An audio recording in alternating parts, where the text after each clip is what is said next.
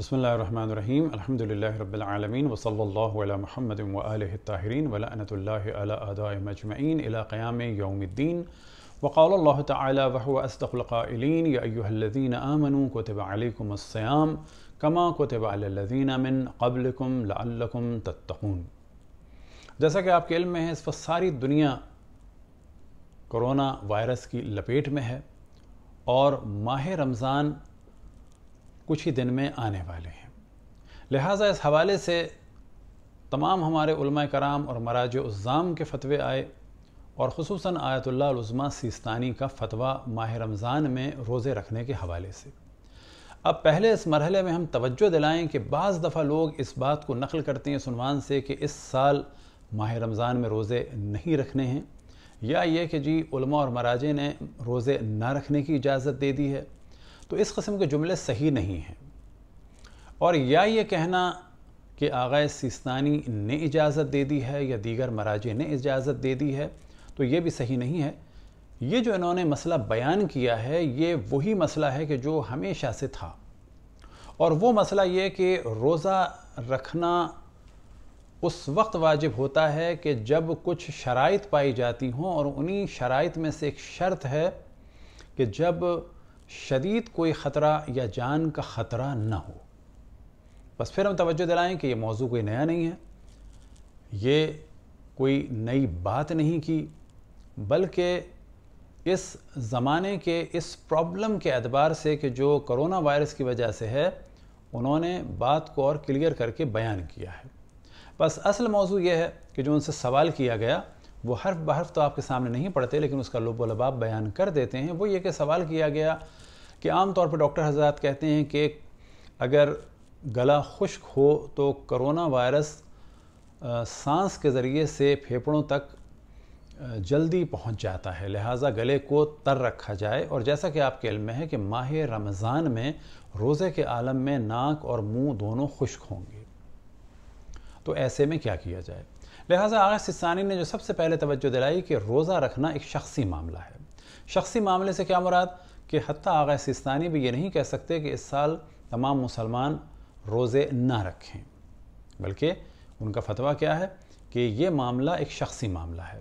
یعنی ڈپینڈ کرتا ہے ہر ایک مسلمان کی اپنی سچویشن پر۔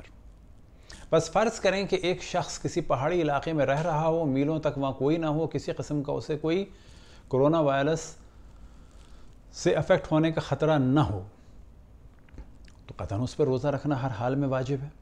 لیکن اگر وہ اسی پہاڑی علاقے میں ہے اور اس کو کڈنی کا پرابلم ہے اور اسے معلوم ہے کہ میں پانی نہیں پیوں گا، تو میری دونوں کڈنیاں یا ایک کڈنی فیل ہو جائے گی یا یہ کہ انتہائی مجھے درد محسوس ہوگا۔ تو ایسی صورت میں کہا جائے گا کہ وہ روزہ نہیں رکھے گا کیونکہ اس کی کڈنی فیل ہونے کا خطرہ ہے۔ بس وہ افراد کے جو کرونا سے افیکٹ ہو سکتے ہیں۔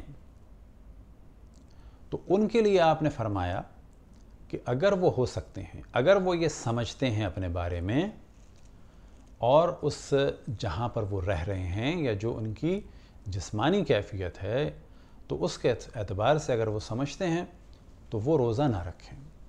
نہ رکھنے سے کیا مراد؟ کہ آغا سستانی نے اپنے پاس سے یہ نہیں کہا۔ بلکہ نہ رکھنے سے مراد یہ کہ کیونکہ جان کا خطرہ ہے یا یہ کہ کیونکہ شدید بیمار ہونے کا خطرہ ہے تو وہ روزہ نہ رکھیں۔ بس کیا کریں؟ وہ ماہ رمضان کے بعد اس روزے کی قضا کریں گے۔ دوسری ایک چیز جو انہوں نے ارشاد فرمائی وہ یہ کہ چوئنگم ٹائپ کی کوئی چیز اگر چباتے رہیں کہ جب انسان چباتا ہے تو گلینڈز لعاب دہن پیدا کرتے ہیں اور منہ خشک نہیں ہوگا۔ تو یہ بھی کیا جا سکتا ہے کہ روزہ رکھیں۔ البتہ انہوں نے ایسا حکم نہیں دیا ہے، بلکہ ایک رائے دی ہے، مشورہ دیا ہے۔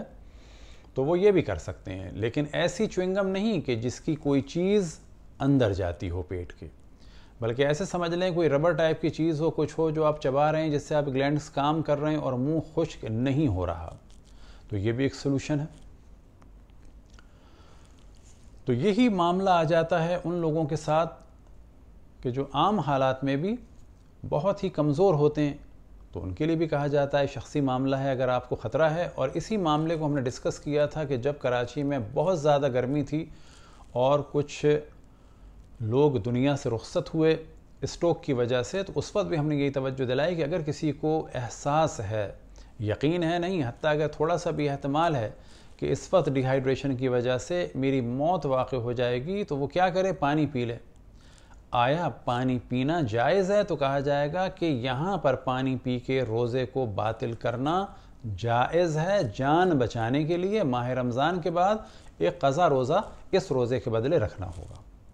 بس اس سال وہ افراد کہ جنہیں خطرہ ہے کہ ان کا امیون سسٹم ویک ہو جائے گا، یا یہ کہ ان کا منہ خشک ہوگا اور کرونا وائرس ان کے پھیپڑے تک چلا جائے گا، تو وہ لوگ روزہ نہ رکھیں، بلکہ ماہ رمضان کے بعد روزہ رکھیں قضا کی نیت سے جب بھی ان کے لیے پاسبل ہو۔ لیکن پھر توجہ دلائیں کہ انہوں نے ساتھ ارشاد فرمایا کہ شخصی مسئلہ ہے۔ بس ایک شخص اگر ایک کشادہ گھر میں ہے اور کسی قسم کا اس ٹرانسفر ہونے کا امکان نہ ہو تو اس کے لیے واجب ہے۔ اسی طرح سے اگر کوئی شخص ایسا ہے کہ اسے کوئی پرابلم نہیں ہے، فرض کریں سب کوارنٹائن ہیں، پورے گھر والے ہیں، کوئی آ جا نہیں رہا کسی قسم کے ٹرانسفر ہونے کا امکان نہیں ہے، تو ان کو بھی رکھنا ہوگا۔ اسی طریقے سے آپ نے فرمایا کہ ایک علاج یہ ہو سکتا ہے کہ ایسی چیزیں کھائی جائیں کہ جس سے منہ تر رہے اور بہت زیادہ پیاس نہ لگے۔ مثال کے، مثال دیا انہوں نے، مثال دی انہوں نے جیسے کہ تربوز ہے یا خربوزہ ہے یا کھیرا ہے اور اس قسم کی اور چیزیں کہ جو انسان کو کافی حد تک پانی پرووائڈ کرتی ہیں کھانے پینے کی چیزیں۔ اسی کے ضمن میں کہا جا سکتا ہے کہ انسان فرض یہ کریں کہ اگر گھر میں ہے تو وہ رات بھر جاگے اور سحری کے بعد سو جائے اور اس دوران اگر وہ کہیں باہر نہیں جا رہا اور کرونا ٹرانسفر ہونے کا امکان نہیں ہے تو وہ روزہ رکھ لے۔ بس یہاں پر پھر توجہ دلائیں کیونکہ مختلف لوگ مختلف باتیں کریں گے، کچھ ہمارے دشمن بھی بات کریں گے، کچھ نادان دوست بھی بات کریں گے۔ دشمن کہیں گے جی شیعوں کے مرجے نے کہہ دیا کہ روزہ نہ رکھو۔ ہمارے بعض نادان کہہ دیں گے، آغا سستانی نے حکم دے دیا روزہ نہ رکھو قطن ایسا نہیں ہے۔ انہوں نے صرف وہی بات کی ہے اور تمام مراجے نے یہی بات کی ہے کہ جو پہلے سے ہوتی آئی کہ اگر جان کا خطرہ ہو یا شدید خطرہ ہو، تو ایسے میں روزہ نہیں رکھنا ہے کیونکہ اس روزے کے صحیح ہونے اور روزے کے واجب ہونے کی شرائط میں سے ایک شرط یہ ہے کہ جان کا خطرہ نہ ہو یا کوئی اور شدید نقصان کا خطرہ نہ ہو۔ خداون تبارک و تعالیٰ سے دعا ہے کہ ہم سب کو اپنی عبادت اور بندگی کی توفیق عطا فرمائے، خصوصاً اس ماہ رمضان میں اور آنے والی ان ماہ رمضان کی شب قدر میں۔ اور جو سب سے بہتر عمل ہوگا اس ماہ رمضان میں بھی، اور زندگی کے ہر مرحلے میں وہ ہے خداون تبارک و تعالیٰ کی بندگی کے بعد خداون تبارک و تعالیٰ کی مخلوقات کی خدمت۔ چاہے وہ مسلمان ہوں چاہے وہ نان مسلم ہوں من حیث الانسان سب کی خدمت کی جائے۔ اور خصوصاً اس برے وقت میں تمام انسان ایک دوسرے کی فکر کریں، ایک دوسرے کے پرابلم کو سولو کریں۔ اور اگر کوئی چاہتا ہے کہ خداون تبارک و تعالیٰ اسے طول عمر دے، صحت دے، عافیت دے، تو بہترین عمل یہ ہے کہ وہ اپنے مال میں سے جو اسے اللہ سبحانہ و تعالیٰ نے دیا، جس مقدار میں بھی دیا جتنا زیادہ دیا ہے، اتنا زیادہ اللہ سبحانہ و تعالیٰ کی بارگاہ میں پیش کرے اس صورت میں کہ اللہ کی مخلوق کو دے۔ خصوصاً وہ مالدار لوگ کہ جن کے پاس بہت مال ہے۔ اور خصوصاً وہ لوگ کہ جو پاکستان میں مختلف حکومتوں میں رہے، انہوں نے حرام مال کھایا تو جان لیں، یہ حرام مال رہ جائے گا، ایسا نہ ہو کہ ان کی پوری فیملی ختم ہو جائے۔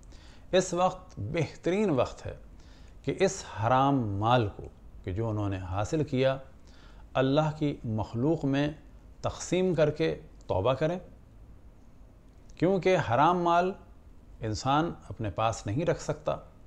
حرام مال کا صرف یہی ہے کہ جن سے لیا ہے، اگر انہیں جانتے ہیں تو انہیں واپس کریں۔ اور اگر ان تک نہیں پہنچا سکتے، تو ان کی جانب سے اللہ کی راہ میں وہ مال لوٹا دیں۔ بس پھر توجہ دلائیں، خصوصاً پاکستان کے سیاستدانوں کو ایسا نہ ہو کہ یہ پیسہ، یہ سب کچھ یہاں رہ جائے، آپ کی پوری فیملی اسی سال میں کہیں ختم نہ ہو جائے۔ اس سے پہلے کہ مال دوسروں کے پاس چلا جائے، حساب آپ کو دینا پڑے، جو بھی آپ پر حق ہے، اس حقدار اس کو اس کے حقدار تک پہنچا دیں۔ وصلی اللہ علی محمد و الطاہرین۔